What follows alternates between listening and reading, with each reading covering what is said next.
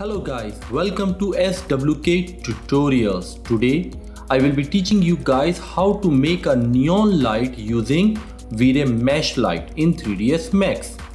Furthermore, I will be teaching you guys how to add bloom glare effect using V-Ray Frame Buffer to make it more interesting. I have used V-Ray 5 in this tutorial, but if some changes comes in newer versions of V-Ray, I will let you know in description or comments.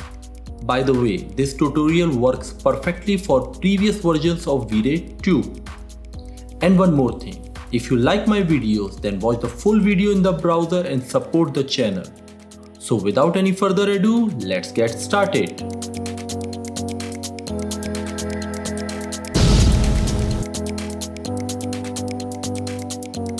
First, take the render to see the current scene lighting.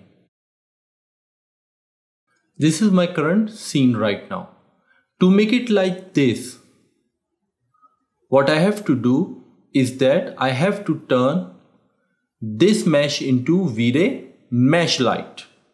Now, there are two ways to do this thing. Number one, I can go to my command panel, click on lights, go to V-Ray click on V-Ray light, change it from plane to V-Ray mesh, click here, actually change it to V-Ray mesh and then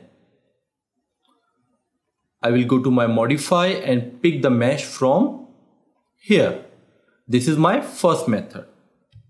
Undo it, delete this mesh light. The second method is that I can select the mesh click on V-Ray Mesh Light and it will directly convert this mesh into V-Ray Mesh Light. So these are the two ways to convert your mesh into V-Ray Mesh Light. Now render the scene. You can see that my has been converted into neon light. Now it's time to change the color. My mesh is selected and from here I will change its color Next, it's my personal observation that whenever I want to do neon light, I keep my multiplier higher than normal. It helps me when I turn on lens effect in V-Ray frame buffer. For now, I will just keep it higher and I will keep it around, let's say 100 and render it. You can test different values, but still I will recommend to keep it little bit high. Now I have successfully converted this mesh into neon light. To make it more interesting, I will go to my lens effects, enable bloom glare effect. Now, whenever I am using neon lights, I normally keep my size around 20 and my intensity around 8.5 or 8.